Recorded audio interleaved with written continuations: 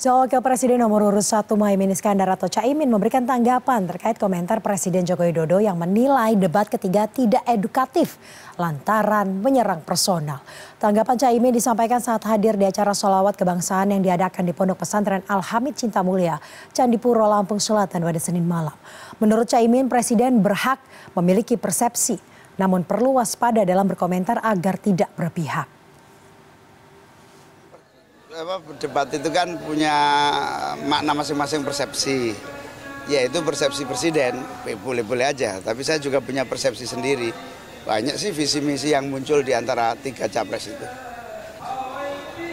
Iya, presiden punya hak untuk menilai, tapi hati-hati jangan sampai presiden kejeglong, bahasa Jawanya kejeglong, bahasa Indonesia-nya apa ya? Kejebak dalam uh, uh, keberpihakan.